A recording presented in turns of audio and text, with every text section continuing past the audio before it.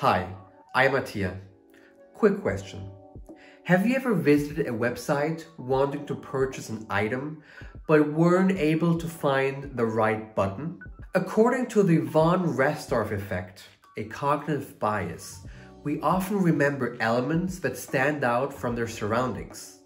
The effect suggests that an item that sticks out in a particular setting is more likely to stand out from the rest. This bias can be especially useful with a call to action button.